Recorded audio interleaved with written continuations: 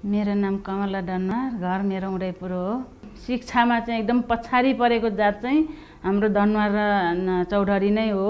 र हामी अब त्यहाँ उम्, छोराले पढाउनु पर्छ छोरीले पढाउन हुँदैन भन्ने जात हाम्रो त्यस्तो खालको थियो त्यहाँ। त्यसले गर्दा अलिकति पछाडि परेको चाहिँ हाम्रो धेरै पछाडि थियौँ शिक्षामा।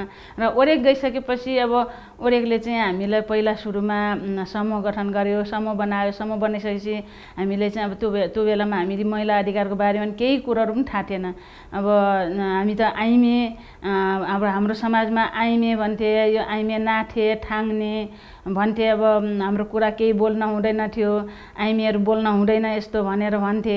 तर हामी त्यसरी नै अब श्रीमानले कुटपिट गरे पनि हामीले सहेर बस्नुपर्ने आइमेहरू बोल्न हुँदैन भन्थे भाले बासेको राम्रो हुन्छ पोथी बासेको राम्रो हुँदैन भन्थे कहीँ हामी जाने अवसर पनि पाउँदैन थियौँ केही कुराहरू बोल्ने पनि पाउँदैन थियौँ क्या महिला स्वास्थ्य सम्बन्धी पनि अब कति महिलाहरूको एकदम तल्लो पेट दुखेको छ कति महिनावारी गडबडी छ त्यस्तो खालको पनि सबै लुकाएर राख्थे के? पाठेघर कति महिलाहरूको पाठेघर खसेर पनि ए क्यान्सर भएर पनि कति मरे।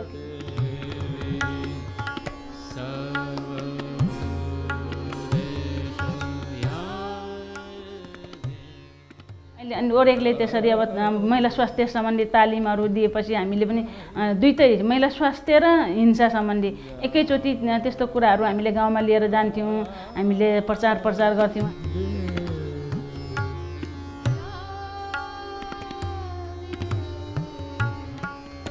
सर्वभूते न- हाम्रो त्यहाँ चाहिँ धेरै पहिला त धेरै नै हाम्रो पीडा थियो धेरै महिलाहरूले धेरै पीडित थिए। तर अहिले चाहिँ मैले अब काम गर्न थालेँ। जो मै जो पुरुषहरूले मलाई कति घृणा गरेर मलाई भन्थे तेरो स्वास्नी यो बिग्रियो यो रन्डी के अरे ओरेकमा लागेपछि यो खट्टम भयो भनेर भन्थे। तर अहिले मैले राम्रो काम गरेछु ओरेकले मलाई राम्रो काममा सिकाएको छ राम्रो बाटोमा हिँडाएको छ। मैले पनि त्यही सिकेँ। अहिले राम्रो काम गरेको छु। अहिलेसम्म पनि मैले महिलाहरूको अधिकारको लागि लागि लडिराखेको छु। जो महिलाहरू पीडित छन् आउँछन् अहिले पनि सहयोग माग्न आउँछन्। अहिले पनि मैले सहयोग मैले गर्न सक्ने सहयोग अहिले पनि गरेको छु।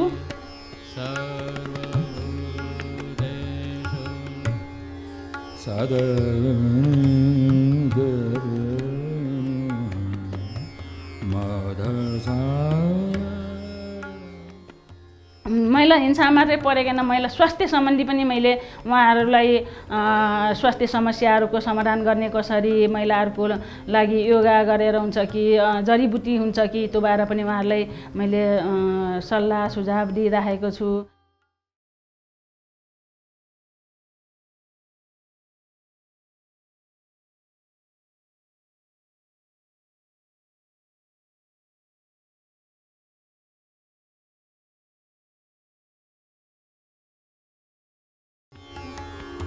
शक्तिरूपेण